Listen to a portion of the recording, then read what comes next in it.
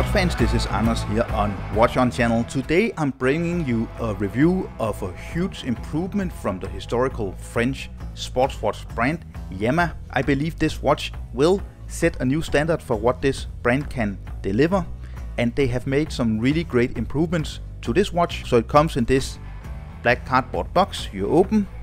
I really like the packaging of Yema, not too much, not too little, because inside you actually find this nice leather travel case here, signed Yema.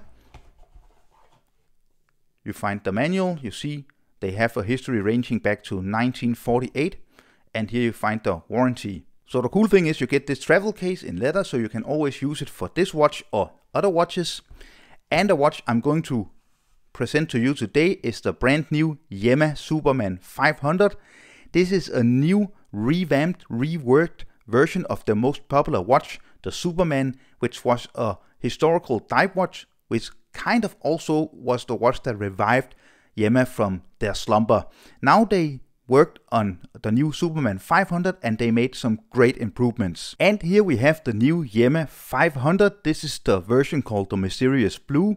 They make a blue version, very dark blue, and then a black version. You can choose between stainless steel bracelet, rubber strap, or a nice leather strap. They only produced 200 examples of the first run, which are numbered on the back, on the case back, and then I believe they will start to have a regular run. I actually like this watch so much, this is just a review unit going back to Yema when I'm finished reviewing this watch, that I purchased my own example because I think it presents some really really nice features. As you see it's a note date vintage inspired dive watch this is what a lot of brands are doing today. We, for example, see it with the Tudor Black Bay 58, also a brand like Oris with the Oris Diver 65 and a lot of other brands. The cool thing with Yema is that they are actually just remaking their own designs because the Superman is their own design and has been produced for many many years. Getting up closer here you see very vintage inspired and typical of Yema with this kind of shovel second hand with the red little dot there. Then you get the kind of arrow pointing minute hand and almost kind of their own cathedral style minute hand. Then the simple sword style hour hand. Very simple dial. I really appreciate the fact that they didn't make any silvery rings around the hour markings. They're just like printed on. They are filled with Swiss lume, of course, because it just gives a much more vintage inspired and flat and simple look to this watch, which I really think is the charm with this watch. You also see it is a no date version. It's actually housing the Yema in-house caliber 2000, which has 42 hours of power reserve and is a high beat movement with 28,800 rotations per hour. I have been a little critical about these Yema 2000 movements because I never actually got the accuracy that they are supposed to deliver. They promise between plus or minus 10 seconds. But when you look at your screen now, but when you look at your screen now, I get perfect accuracy between plus 2 and 3 seconds with this movement. It's great accuracy. And before I give you more details about this watch, this watch is priced at 1,190 euros, dollars or Swiss franc. The currencies are almost the same at the moment, but you can sign up for the loyalty program and get 10% discount very easily.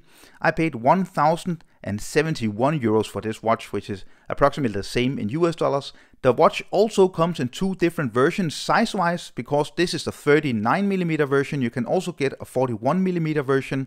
So you get 38.9 millimeters I measure in diameter. Then you get 48 millimeters from lock tip to lock tip. Then we get a thickness or height of 13.8 millimeters. It wears much slimmer than this. I'll show you when I get it on my wrist. And then we get a annoying lock width here of 19 millimeters. Yema also did provide me with the rubber strap. It feels amazing, extremely soft, nice quality, and you get a deploying buckle as well.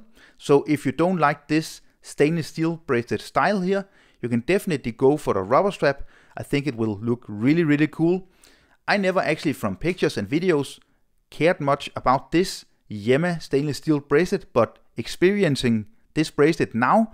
It's top quality, it's so comfortable, and I really like the vintage look that it has. So being called the Yema 500 also means that this watch has 500 meters of water resistance. And as I said at the beginning of the video, they did a lot of improvements to this watch compared to the regular Superman version.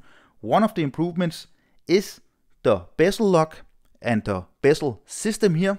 This is patented by Yema and it's a very historical thing for Yema that you actually get this bezel lock. So with regular dive watches, you just turn the bezel, but you're not actually able to turn the bezel unless you unscrew the crown. Then you also release the bezel lock system here, and then you can turn the unidirectional bezel, 120 clicks. Compared to the other Yema watches I have reviewed, one of the improvements is the bezel action. It feels amazing. It is an aluminium bezel insert with blue, very dark blue coloring. A real dive watch bezel because you get all the hour markings, minute markings, and a little line here for every minute so you can count 60 minutes. I must say, huge improvement with the bezel action. It feels extremely nice. Top quality. One of the big improvements in my opinion with this watch. It feels like a luxury watch. So now I have turned the bezel and if I don't screw in the crown, I actually still got 30 meters of water resistance because Yema designed the crown to actually provide water resistance if you're forgetting to actually screw in the crown. But I only get 500 meters of water resistance when I actually screw the crown all the way in. It is only one position because it's not a ghost position. This is a no date Yema 2000 movement. You can also get a date Yema 2000 movement. So now I can set the time. You see hacking manual winding.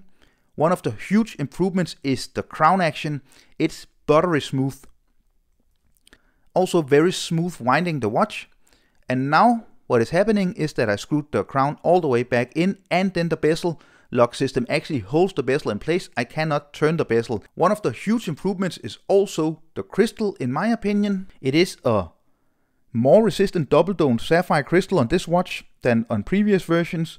What they actually did was that they actually reduced the crystal by 0.3 millimeters on its height, and then they made it wider with 0.6 millimeters, so you actually get a little more flat although it is, of course, you can see a domed sapphire crystal here, very vintage inspired. It's more flat, which takes off the height of the watch and also just gives a better distortion and you're actually able to read the time at different positions of the watch.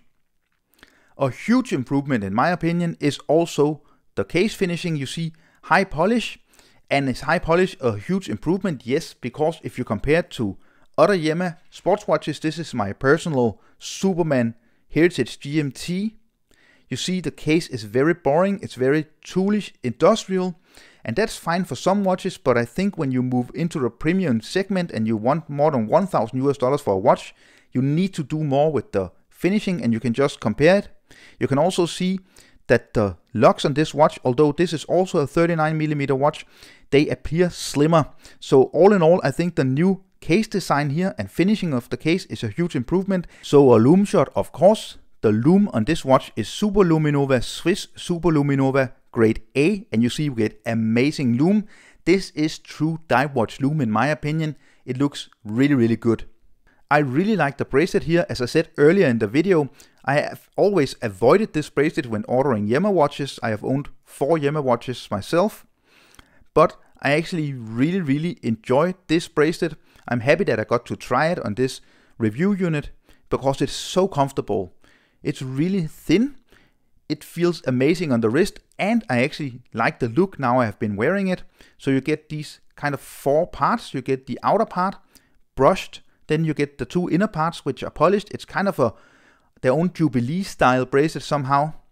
And again, female end links, which just makes the watch wear much better on the wrist. It is push pins, which is a bit annoying, but still easy to adjust. And then the clasp is definitely the weakest point of the watch or the bracelet in my opinion. It is secure, it's sturdy, you get four micro adjustments, which is really nice, but it is very simple. And when you move into the luxury segment, or entry-level luxury segment within dive watches as Yema do with this Yema Superman 500, I think they should definitely do something with the clasp. So something in the future for Yema to improve on is definitely the clasp. So you get a fold over and then you just open with friction here. not stamped, milled. So everything is good in that department. And then you get a dive watch extension that is well made. It's no kind of stamped cheap dive watch extension. Very easy to use, but for micro adjustments, that's a good thing because you can find a really nice fit. I found the perfect fit for me. And here the typical beautiful Yema case back. I like how they made it in two different kind of coloring and finishing. It looks very, very aged and old. This dark coloring here. The engraving of the beautiful Yema logo and then you get all the information. You can see French made. On my 17.5 centimeter wrist circumference, I think this watch wears amazing. It feels really good on the wrist, and I think a huge part of that is definitely the bracelet here because it's so soft, it's so flexible, it just feels great, and I actually now enjoy. And when I get this watch, my own example, to have a bracelet which is nothing we see on other watches. So definitely a super nice vintage inspired dive watch from Yema some improvements should be made. Definitely look into maybe making ceramic bezel inserts instead of stainless steel or aluminium. Look into actually making a better clasp. That is one of the big things in my opinion. Better clasps. So all in all, I can definitely recommend this watch. I think it feels like a thousand dollar watch or a thousand euro watch. They are definitely moving in a better direction with Yema. So I hope you enjoyed the review of this Yema Superman 500 Mysterious Blue.